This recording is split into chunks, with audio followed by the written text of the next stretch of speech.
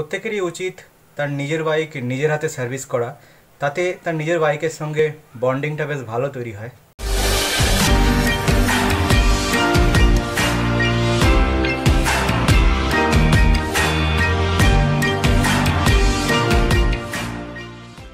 নমস্কার বন্ধুরা, আজকে আরও একটা নতুন ভিডিওতে আমার সমস্ত ভিউয়ার ও সাবস্ক্রাইবারদেরকে হর্নেট ম্যানের স্যালিউট যারা নিজের বাইক নিজেরাই সাধারণত ধোয়া মোছা করেন এবং পরিষ্কার করেন।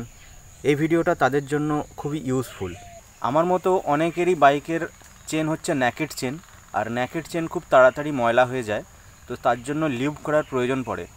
তো লিভ করার আগে চেনটাকে পরিষ্কার করার দরকার, না হলে লিভটা ঠিকঠাকভাবে কাজ করবে না।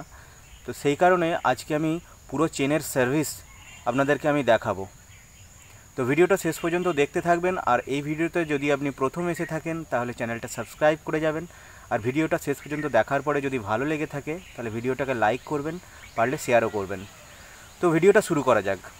তো আজকে আমি চেন পরিষ্কার করার জন্য ইউজ করব কেরোসিন, তারপরে ইউজ করব ডব্লিউডি ফর্টি তারপরে ইউজ করব এই ক্যাস্টলের চেন লিউভ এখন অনেকের কাছে প্রশ্ন থাকতেই পারে যে চেনটা একবার ক্লিন করার পরে কতবার লিভ করা যেতে পারে।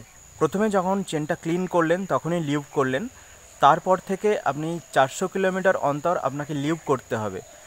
দ্বিতীয়বার লিভ করার সময় যদি দেখেন যে আপনার চেনটা নোংরা হয়ে গেছে, তাহলে আবার ক্লিন করেই আপনাকে লিভ করতে হবে।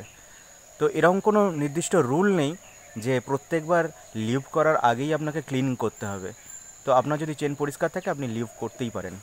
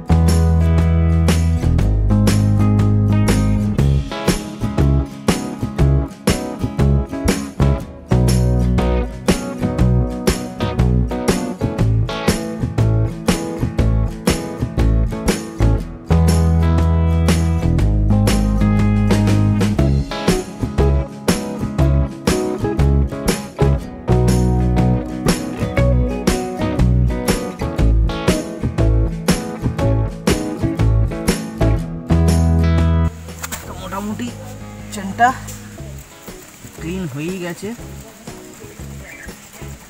এবারে দরকার হচ্ছে চেনটাকে পরিষ্কার করা, একটা কাপড় ছিঁড়ে দিয়ে।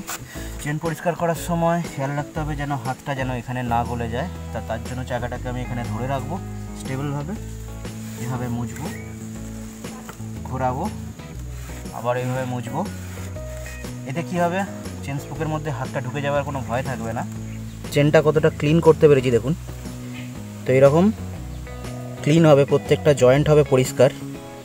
এখানে প্রত্যেকটা জয়েন্ট যেন পরিষ্কার হয় এবং এখানে যেন কোনো নোংরা না জমে থাকে। তো তাহলেই বুঝবেন আপনার চেনটা ক্লিন হয়েছে। প্রথমে আমি ডব্লিউডি ফর্টি ইউজ করব। তো এর জয়েন্টে যদি কোনো নোংরা বা কোনো রাস্ট থেকে থাকে বা জ্যাম থাকে, সেটা ক্লিন হয়ে যাবে।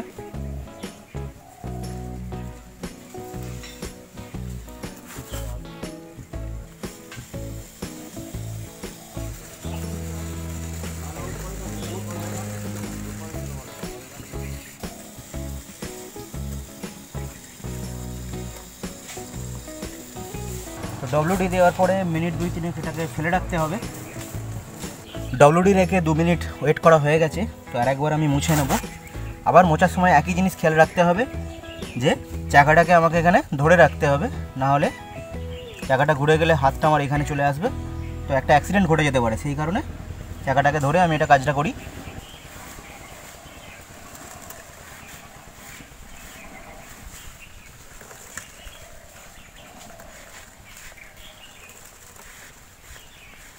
তো এবার আমি ক্যাস্ট্রল দিয়ে চেনটাকে লিভ করব।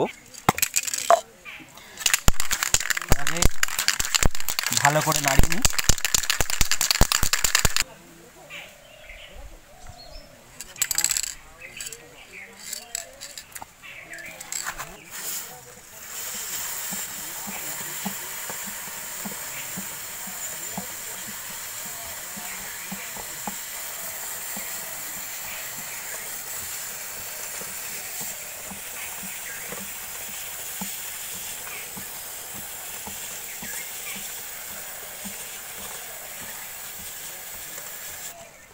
প্রত্যেকেরই উচিত তার নিজের বাইক নিজের হাতে সার্ভিস করা।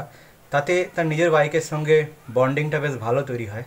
তো এই কারণেই আমার বাইকের এই সমস্ত ছোটোখাটো কাজ আমি নিজেই করি।